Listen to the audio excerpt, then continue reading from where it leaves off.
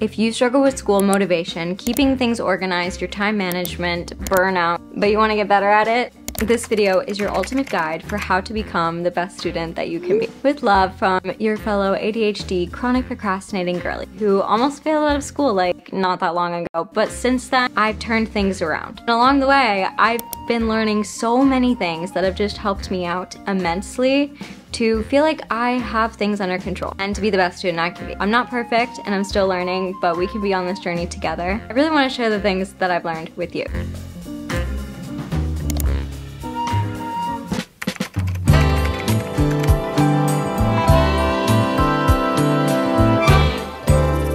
For me, a good morning is so important to a good day.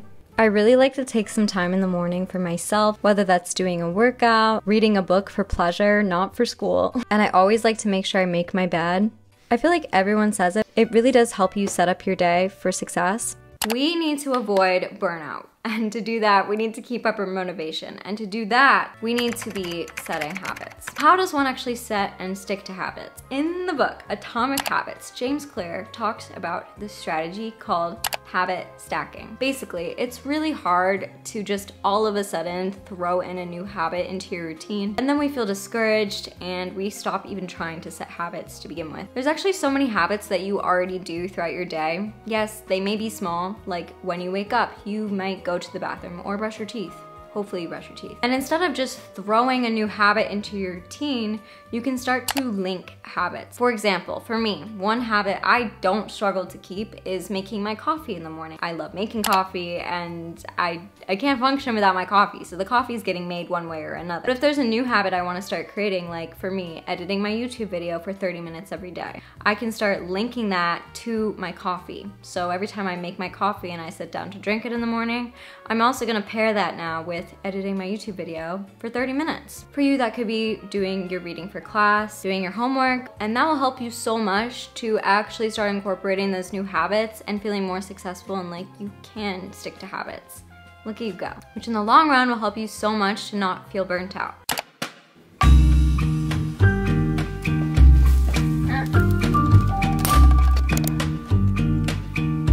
About to go to class, so I thought we'd start this video off by me showing you kind of the things that I like to do before class that help me be successful in class. Definitely looking over my reading before class, even if I've already read it. And I wanna be able to partake in the conversations in class because I actually feel like when I go to class and I engage in the conversation, I almost always feel like I understand what's going on a lot better because talking through things truly helps your brain so much to grasp concepts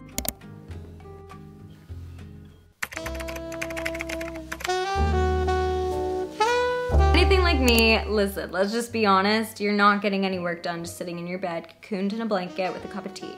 It sounds really nice, but that can be your reward when you finish your homework. Instead, have a designated space that work gets done at. So whenever you go to sit at this spot, maybe a desk, you're, you've already linked the idea of when I sit here, I get work done. I try really hard to, to keep my desk clean and I've also really taken some time to make it something that feels inspiring, but not too overstimulating so that I can focus. But it's a space that I'm enjoy sitting at. If you still feel unfocused there, take it one step further and actually leave your home, go to the library, find little places on campus that are quiet. Personally, I don't even really like the library at my school, but I do love like just these little nooks and crannies that I've found over the years. If it's not too distracting for you, you could go to a coffee shop. Sometimes, especially when you're just so unmotivated, getting out, leaving the house, and telling yourself, you know, I'm not allowed to leave this spot until I finish is so helpful and will just make you realize like I was really procrastinating so much at the house. So it's it's good I left. I used to have such a hard time literally just motivating myself to get to class. I would show up late in my pajamas or I wouldn't show up at all. But once I started romanticizing school and leaning into these vibes, I became 100% more excited about going to school. I might make an entire video about this, but briefly, I do this by making Pinterest boards, going to class early so I can enjoy my walk and see the campus, having fun with my stationery, replacing my backpack with a book bag, watching Gilmore Girls on repeat, and of course, my outfits. Of course, what you wear is not the most important thing when it comes to school. However, I truly believe that when you have a comfortable outfit that is cute, makes you feel good, you will be more productive, you'll be more motivated to go to school, your day will just be more enjoyable. So, which leads me to the sponsor of today's video, which is White Fox. Thank you so much White Fox for sponsoring this video. I literally love White Fox. They also stock White Fox Swim and White Fox Active. Afterpay is available for customers in US, Australia, and New Zealand, and White Fox has worldwide shipping. Let's put together some outfits, give you some outfit inspo for school, and I really like White Fox because every piece I'm going to show you today is literally so comfortable, it can be paired in so many ways. And I really just wanted some pieces that are super versatile and I can just use them in so many outfits and pieces that are super comfortable for when I'm sitting all day at school. So let's put together some outfits. First we have this sweater which is literally so comfortable. Now let's put something on to dress it up a little bit for school. Okay, this skirt is literally my new go-to pleated skirt for fall. That not so cute? That is literally the perfect pleated skirt. This is the Cover Me Up sweater in oat. And this is the Life Like This plaid mini skirt in mocha.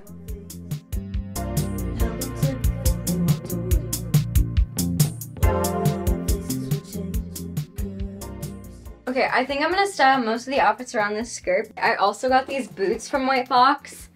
Um, they're so comfortable, just so chic looking. So cute. The shoes are the Johnson knee-high boots in buttercream. This shirt is gonna be one of my staples this fall and winter. Literally the softest material. Pair this with so many things. This outfit is so cute. I love the silhouette of this shirt.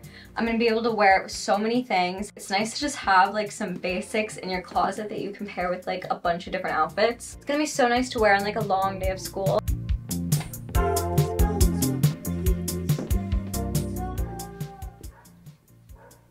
Okay, I also got this shirt in another color. This is the perfect everyday brown shade. Love the way these look together. This is really giving dark academia. Like, I'm going to the bookstore, but spend some time in the library. I think it's cool that I'll basically be able to pair everything with this skirt. This is the Bring It Down long sleeve top in mocha. Okay, this one, um, Blair Waldorf Who? Are you kidding me? I feel like this is totally those dark academia vibes. Ready for the back? What? I've been looking for a black top like this for so long now. I'm so excited to have it. Feels very witchy, perfect for the fall. This is the Ever Since Then long sleeve top in black.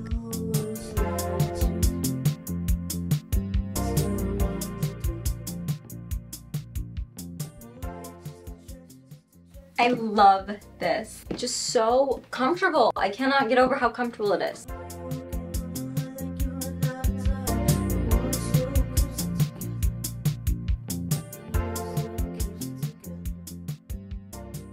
It also has a little belt, which I think is really cute. This is the Only for Tonight long sleeve top in mocha.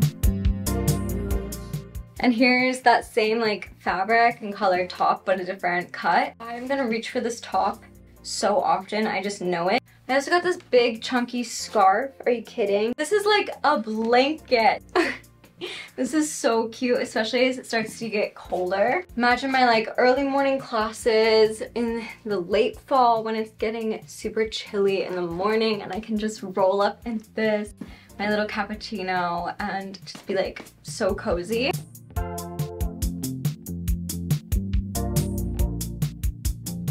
The scarf is called the Winter Warmth Oversized Scarf in the color Moss. Okay, this is literally the perfect black fall dress.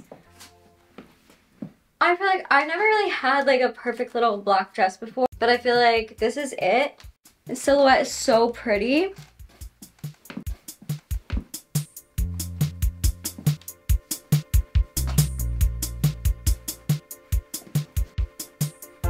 This is the Summer Crush mini dress in black. So cute for like a night out. Just like a day where you feel like wearing a dress to school. This is so pretty. Just this comfy little number top, some pants, some really comfy, and this bolero. This is just so nice to like wear around the house. And this bolero is so nice. I want to wear it to ballet with like my leotards and stuff. This is the Faithful knitted pants in black and the Don't Choose two-piece knitted crop in black.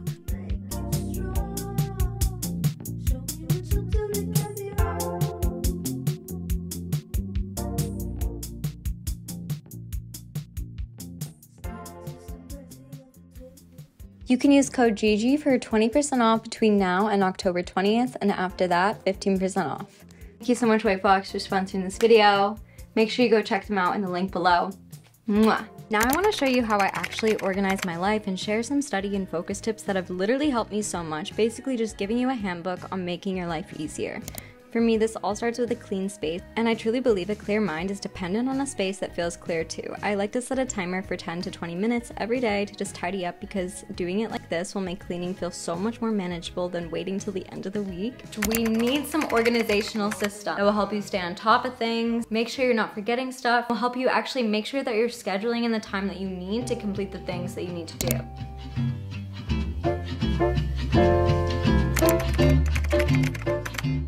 Personally use my journals, my planners more for school related things, I love Notion. I'm a huge I'm a huge Notion fan. Notion is basically this like planning, organizing, scheduling website. I use Notion daily for organization of all of my out of school creative projects. It's like my main thing that I use to help me organize my YouTube. By the way, this is not my template. I have personalized. I'll try to link it down below. Start of each week, I'll basically empty this and start over. Has a daily check-in. It asks me again for my top priorities. It has quick links to all of my courses. I need to change some of these emojis, but I have everything everything linked to my course like syllabus there. I have a study playlist and then here is where I can fill in my assignments.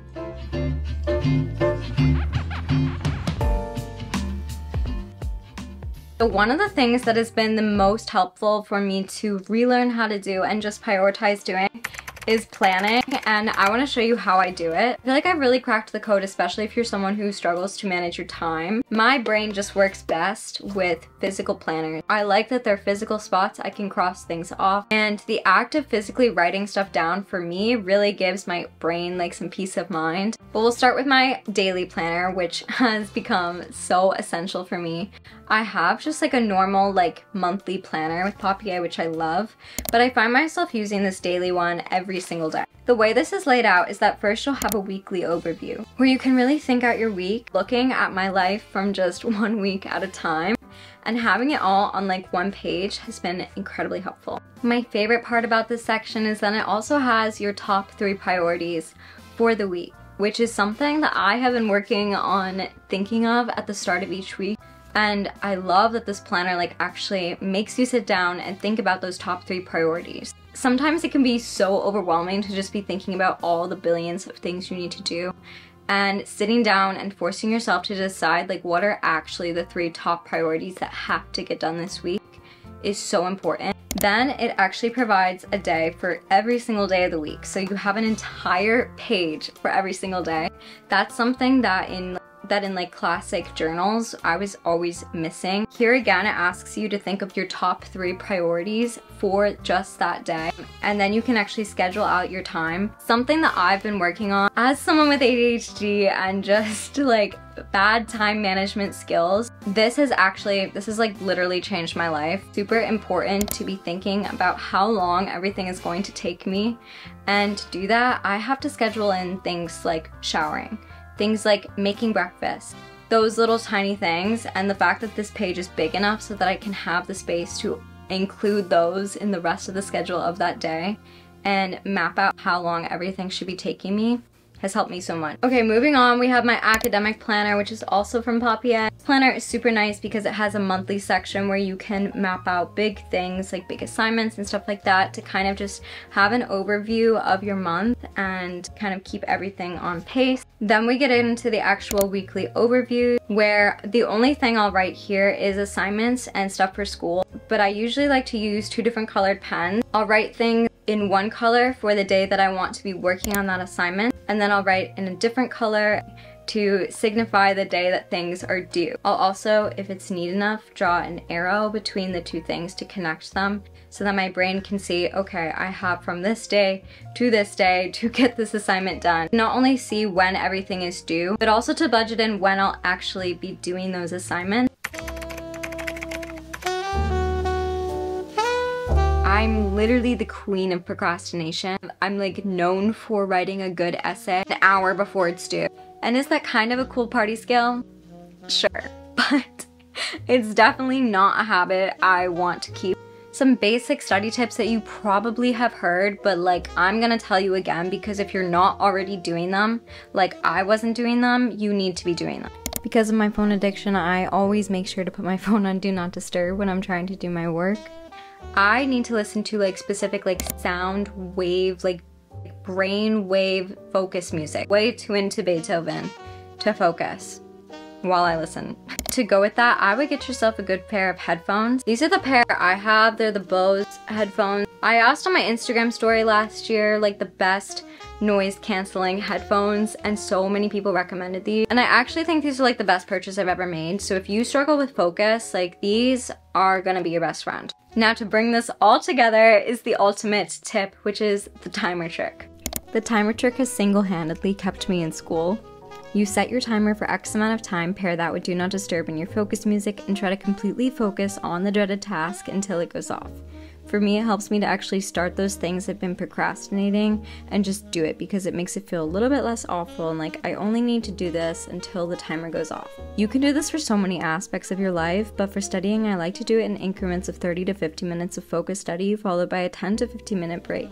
Then another two rounds of that before finally finishing with a longer break for a total time of one and a half to two and a half hours of studying, depending on how long your sessions were and before you realize it, you've you've done the task. If I do take notes physically, I love to spice it up with some colorful pens and try to just make my notes super cute. For readings that are a little bit harder, I'll underline things that seem important to me and then in the margins I would write like key ideas or things I was taking away in my own words that then at the very end when I needed to refer back to it or figure out like what I had learned from the reading, I could refer back to those main points that had I had written in the margins. My last tip for really dense readings would be not to be afraid to A, read out loud, or B, get an audible. My brain works so much better when I hear something or when I can read it out loud. Reading things out loud I feel like helps you so much to like actually like understand what you're saying, what you're reading. Hello, I guess I didn't film an outro to this video. I wanted to end out this video by just reminding you that the most important thing also is that you're taking breaks and you're feeling okay and aren't feeling guilty when you're taking breaks. Taking breaks, doing things for fun, hanging out with people you love, watching a comfort show, and just recharging are all productive. You have to recharge and to take care of yourself to be able to do anything. I hope that this video was helpful, even just a little bit. It's so much fun making it. Thank you so much again to White Fox for sponsoring this video. Make sure you guys go check them out in the description below. I love you all so, so, so much, and I'll see you in my next video. Good night. Mwah.